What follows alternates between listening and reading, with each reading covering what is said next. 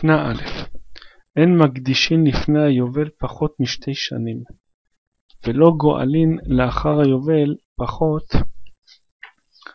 משנה. אין מחשבין חודשים להקדש, אבל ההקדש מחשב חודשים. המקדיש את שדהו בשעת היובל נותן בזרע חומר שעורים חמישים שקל כסף. היו שם נקעים עמוקים עשרה טפחים, או סלעים גבוהים עשרה טפחים, אין נמדדים עמה. פחות מכאן נמדדים עמה.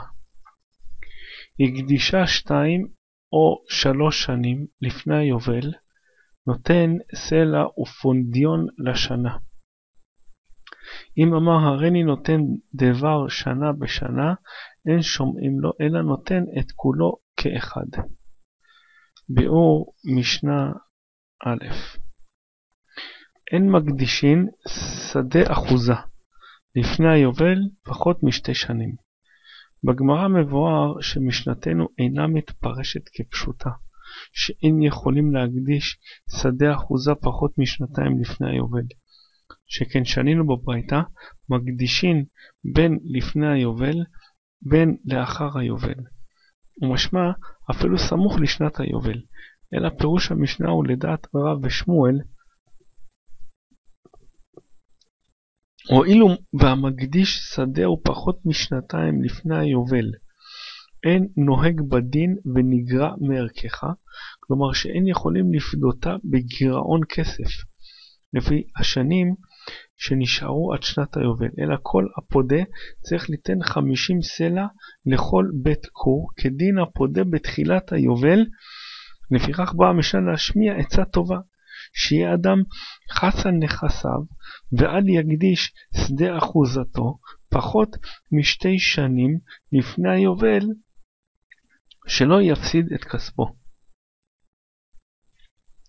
ולא גואלין לאחר היובל פחות משנה, שנאמר בתורה, אם משנת היובל יקדיש שדהו, וחשב לו הכהן את הכסף על פי השנים הנותרות עד שנת היובל ונגרע מערכך, ובא משנתנו ללמד שהפודה את השדה אחר היובל, אין מחשבים לו את ערך הפדיון בגירעון כסף, לפי חשבון השנים הנותרות עד שנת היובל.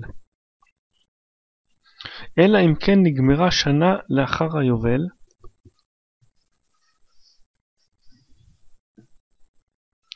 אבל הבא לפדות בפחות משנה לאחר שנת היובל, אין דינו אלא כפודה משנת היובל, ונותן את הערך השלם, היינו חמישים סלע לכל בית כור, ואין גורעים לו את החודשים שכבר עברו מהשנה הראשונה.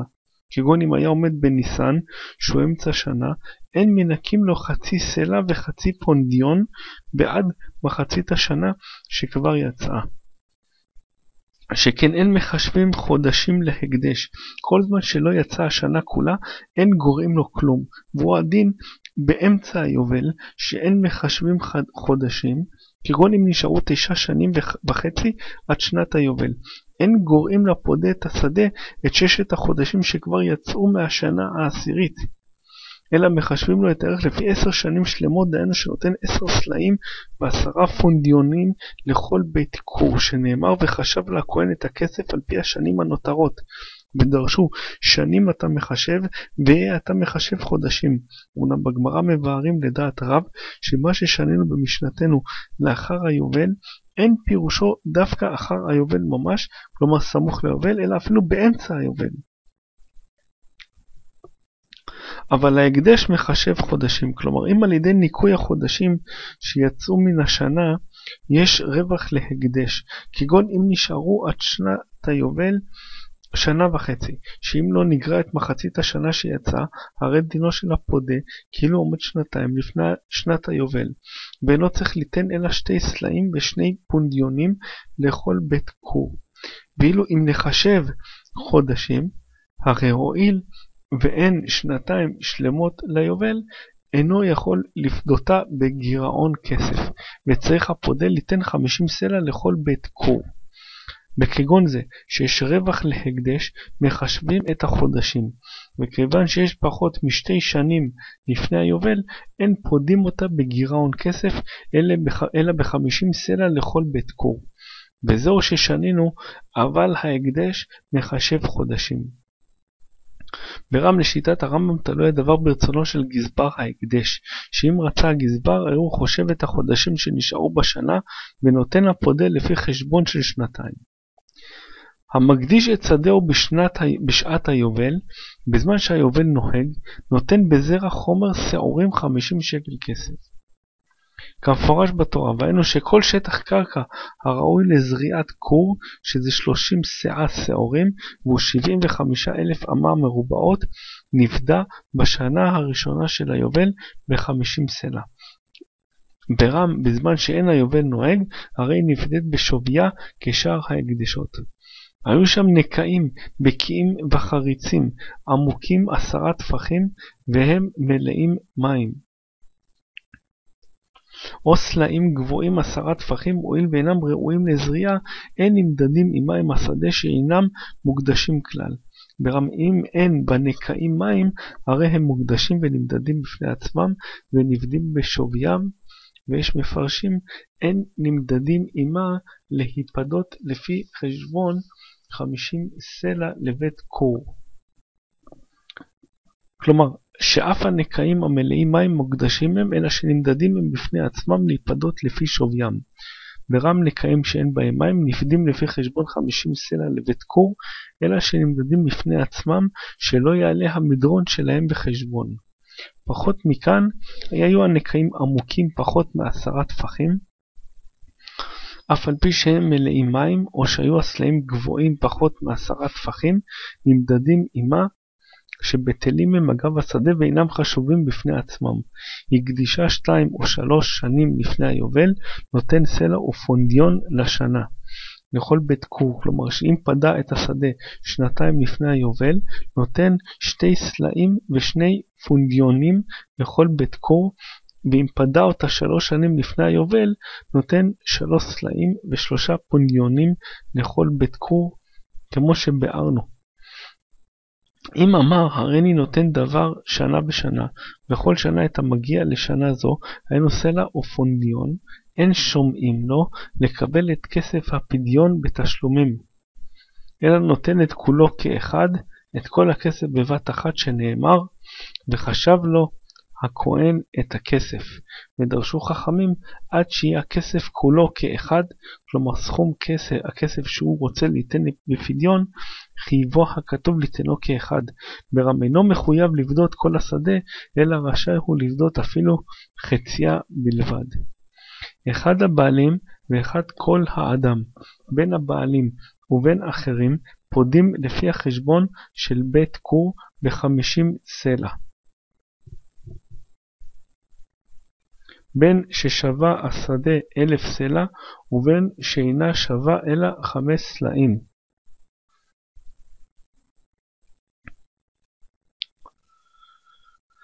מה בין הבעלים לבין כל האדם? כלומר אין בין הבעלים לבין כל האדם אלא שהבעלים נותנים חומש, מוסיפים עוד חומש על דמי הפדיון, שנאמר, ואם גאול יגאל את השדה המקדיש אותו, ויוסף חמישית כסף ערכך עליו.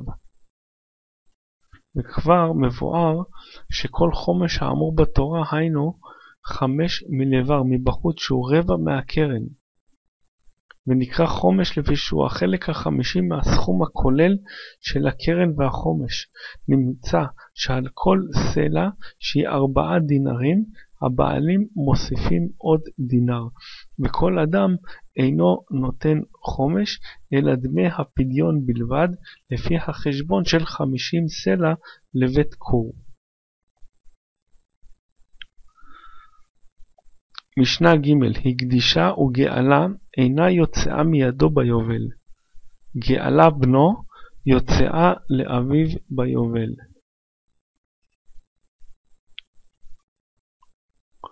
גאלה אחר או אחד מן הקרובים וגאלה מידו אינה יוצאה מידו ביובל. גאלה אחד מן הכהנים והרי תחת ידו לא יאמר הואיל והיא יוצאה לכהנים ביובל, והרי תחת ידי הרי היא שלי, אלא יוצאה לכל אחיו הכהנים. בפרשת המקדיש אחוזתו נאמר, ולא יגאל המקדיש את, את השדה. ואם מכר גזבר את השדה לאיש אחר, לא יגאל עוד, והיה השדה בצאתו ביובל קודש לאדוני כשדה החרם, לכהן תהיה אחוזתו. משנתנו והמשנה שלאחריה עוסקות בפרטי הדינים הנלמדים בפסוקים אלה. ביאור משנה ג' הקדישה, הקדיש אדם את שדה אחוזתו וגאלה, והוא פדה אותה מיד ההקדש, אינה יוצאה מידו ביובל, שכן אם פדה אותה אחר, הרי השדה יוצאת מידו ביובל ומתחלקת לכהנים. כמו שנאמר, והיה השדה בצאתו ביובל, מיד הלוקחו מן הגזבר, קודש להשם, כשדה החרם, לכהן תהיה אחוזתו.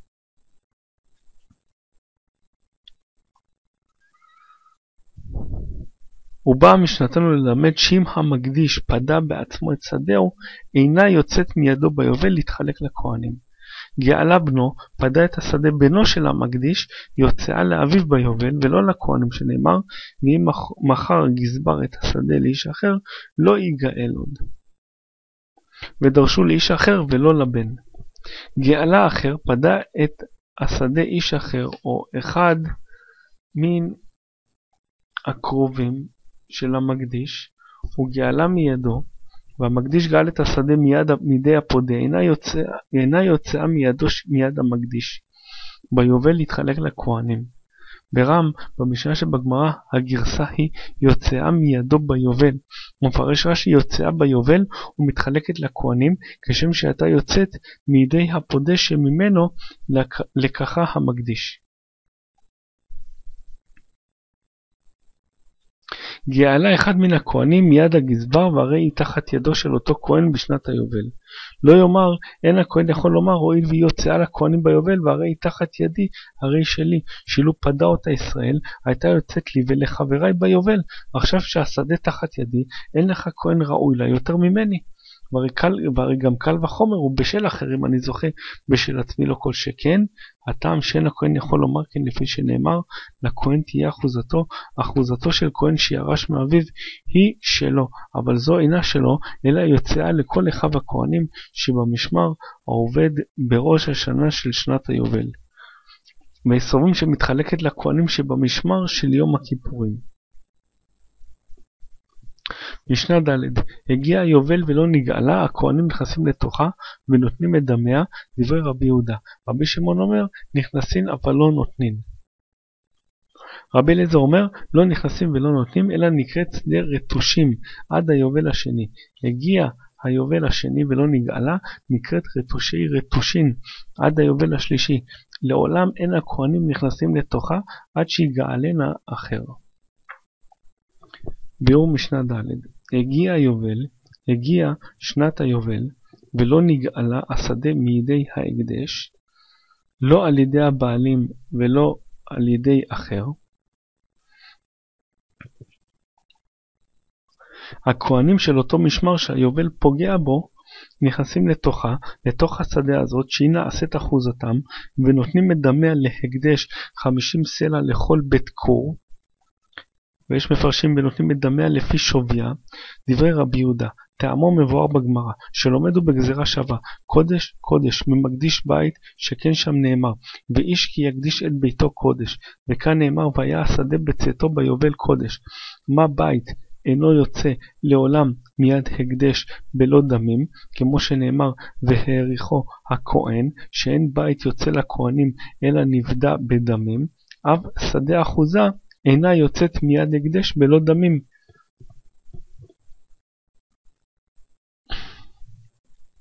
אל כך אם פדה אותה אח, אחר מיד ההקדש, הואיל וזה נתן דמיה להקדש, הרי כשמגיעה שנת היובל יוצא השדה לכהנים בחינם, אבל אם לא נפדתה השדה עד שנת היובל, על הכהנים ליתן את דמיה. רבי שמעון אומר נכנסים הכהנים, נכ... הכהנים נכנסים לתוכה אבל לא נותנים דמיה, שרבי שמעון לומד בגזרה שווה מכבשי עצרת, שנאמר בהם קודש יהיו להשם לכהן, מה שם בחינם, אף כאן, כאן בחינם.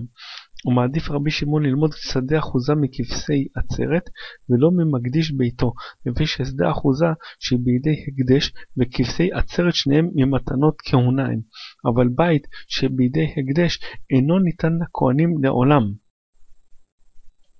ברם רבי יהודה מעדיף ללמוד שדה אחוזה ממקדיש ביתו לפי ששניהם קודשי בדק הבית הם, מה שאין כן כבשי עצרת שהם קודשי מזבח. והלכה כרבי יהודה. רבי אליעזר אומר לא נכנסים ולא נותנים, אין השדה נמסרת לכהנים, אלא נקראת שדה רטושים, שדה שנטשו עזבו הבעליה עד היובל השני, עד שנת היובל הבאה. הגיע היובל השני ולא נגאלה, נקראת רטושי רטושין, עד היובל השלישי, כלומר שדה שעזבו פעמיים, לעולם אין הכהנים נכנסים לתוכה עד שיגאלנה אחר.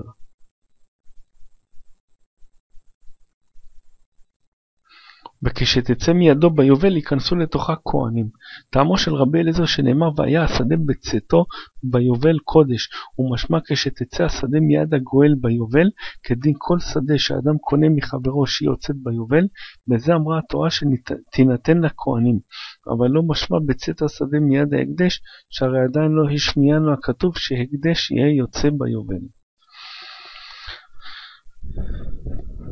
משנה ה' שדה שקנאה אדם מחברו, או זכה בה במתנה וכיוצא בזה, היא נקראת בתורה שדה מקנה. וכבר שנינו שיש הבדל עניין הקדש בין שדה מקנה לשדה אחוזה, שהמקדיש שדה אחוזה, הרי היא נפדית לפי חשבון בית קור בחמישים סלע. משנה ה' הלוקח שדה מאביו מת אביו ואחר כך הקדישה הרי כשדה אחוזה. הקדישה ואחר כך מת אביו הרי כשדה מקנה.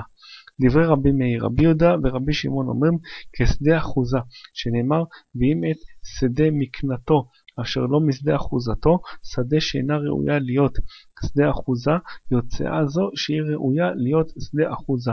שדה מקנה אינה יוצאה לכהנים ביובל, שאין אדם מקדיש דבר שאינו שלו, כהנים ולוויים מקדישים לעולם, וגואלים לעולם, בין לפני היובל, בין לאחר היובל. ביאור משנה ה' שדה שקנה אדם מחברו, או זכה בה במתנה וכיוצא בזה, היא הנקראת בתורה שדה מקנה.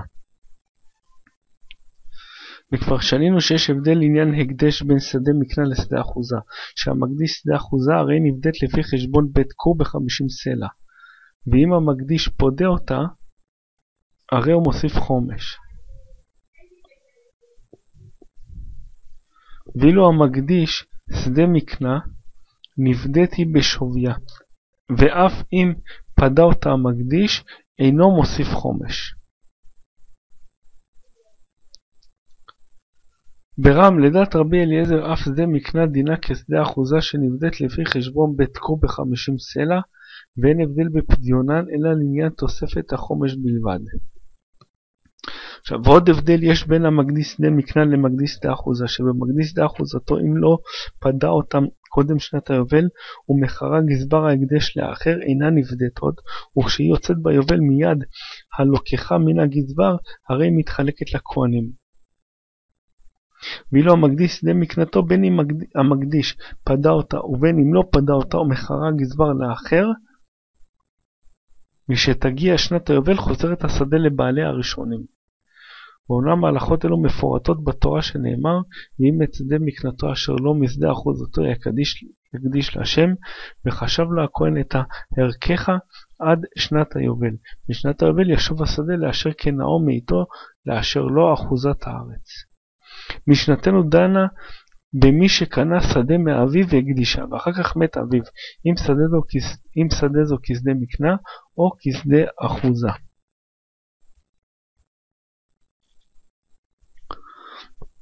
הלוקח שדה מאביו, מי שקנה שדה מאביו, מת אביו ואחר כך הקדישה. הואיל ובשעה שהקדישה כבר הייתה ירושה בידו, הרי כשדה אחוזה והיא נבדית לפי חשבון של בית קור בחמישים סלע. ואם המקדיש גואל אותה, הרי הוא מוסיף חומש. ואם הוא לא גאלה או שגאלה אחר, הרי יוצאת, יוצאת לכהנים ביובל. הקדישה, הקדיש את השדה שקנה מאביו, ואחר כך מת אביו, ונמצא שבשעה שהקדישה עדיין לא הייתה ירושה בידו, אלא שדה מקנה, הרי היא כשדה מקנה, ואם הוא רוצה לפדותה, פודה אותה בשוויה, ואינו מוסיף חומש. ואם פדה אותה אחר, או שלא נפדתה כלל, הרי היא חוזרת לו ביובל, שהולכים אחר השעה שהקדישה, והרי באותה שעה לא היה גוף השדה שלו, שעתידה הייתה לחזור לאביו בשנת היובל. כדין כל המקדיש שדה מקנה שחוזרת ביובל לבעלי הראשונים, וזה יורש כוח אביו. דברי רבי מאיר הסובר, שאף על פי שהשדה עתידה ליפול לבן בירושה, מכל מקום עם הקדישה לפני מיתת אביו, הולכים אחר שעת ההקדשה, ודינה כדין שדה מקנה. ורבי יהודה ורבי שמעון אומרים כשדה אחוזה, אף על פי שהקדישה בחיי אביו, דינה כשדה אחוזה, שנאמר, ואם את שדה מקנתו, אשר לא משדה אחוזתו. והרי התיבה משדה מיותרת היא שיכול היה לכתוב אשר לא אחוזתו היא, או שלפחות המם של משדה מיותרת היא, ומכאן דרשו שבה כתוב ללמד שדה שאינה ראויה להיות שדה אחוזה, שלא קנה אותה מאביו, או משאר המורישים אותו, הרי היא שדה מקנה. יוצאת זו מכלל שדה מקנה, שהיא ראויה להיות שדה אחוזה, לאחר מיתת אביו, אף על פי שבשעה שהקדישה עדיין לא הייתה ירושה בידו, מכל מקום היא נחשבת כשדה אחוזה. שדה מקנה אינה יוצאה לכהנים ביובל. שהמקדיש שדה מקנתו ופדעה אחר, או שלא נבדתה כלל מיד ההקדש, כשתגיע שנת היובל אינה יוצאת לכהנים כשדה אחוזה, אלא חוזרת לבעלי הראשונים. שאין אדם מקדיש דבר שאינו שלו, והשדה לא הייתה שלו אלא עד שנת היובל, כמו שנאמר יובל היא תהיה לכם, ושבתם איש אל אחוזתו, שהשדות חוזרות לבעליהן. בעל תוספות יום טוב כותב שאף על פי שכתוב מפורש הוא, בשנת היובל ישוב השדה לאשר כנאו מאיתו, לאשר לא אחוזת הארץ, מכל מקום צריכה משנה להשמיענו טעם הדבר. משום שבפסוק לא מדובר אלא בכגון שהמקדיש עצמו פודה את השדה, ואילו כאן מדובר בכגון שפדה אחר או שלא נבדתה כלל.